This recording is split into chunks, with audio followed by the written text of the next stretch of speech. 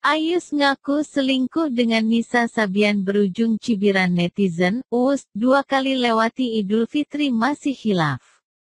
Hari ini, tanggal 21 Februari pemain keyboardis grup Sabian Gambus.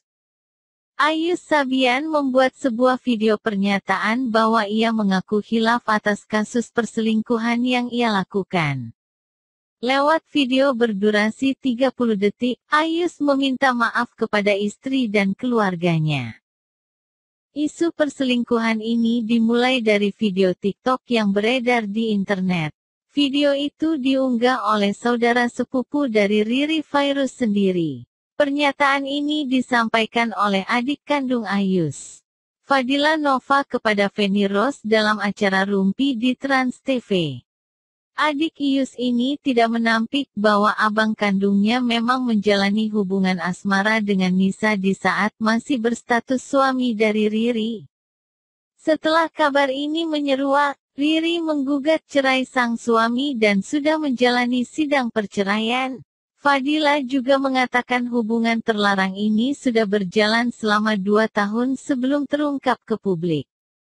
Saya, dengan penuh kesadaran dan ketulusan, ingin memohon maaf kepada istri, keluarga, dan teman-teman Sabian dan semua yang merasa tidak nyaman dengan kehilafan yang saya lakukan, kata Ayus dalam video tersebut, dikutip VOI, Minggu tanggal 21 Februari.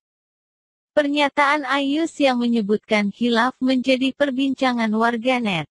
Mereka merasa heran dengan penggunaan kata hilaf atas perselingkuhan yang dilakukan Ayus dan Nisa. Salah satu selebritis yang juga komika, Uus turut mengomentari apa yang diperbuat Ayus. Lewat akun Twitter @us biasa ayah, Uus menyentil ungkapan hilaf yang dilontarkan Ayus. Keren juga si abang bisa dua kali ngelewatin Idul Adha, Idul Fitri, Tahun Baru, Nyepi, Waisak, Natal, tanggal 17 Agustus ulang tahun teman, ulang tahun saudara, ulang tahun istri, ulang tahun anak. Dalam keadaan hilaf, tulis Us. Hilaf 2 tahun, keren juga si abang bisa dua kali ngelewatin Idul Adha, Idul Fitri, Tahun Baru, Nyepi, Waisak, Natal, tanggal 17 Agustus ulang tahun teman, ulang tahun saudara. Ulang tahun istri, ulang tahun anak, dalam keadaan hilaf us et us biasa ayah. Februari 21, 2021 hilaf 2 tahun, keren juga si abang bisa dua kali ngelewatin Idul Adha, Idul Fitri, Tahun Baru, Nyepi. Waisak, Natal, tanggal 17 Agustus ulang tahun teman, ulang tahun saudara, ulang tahun istri, ulang tahun anak, dalam keadaan hilaf us et us biasa ayah.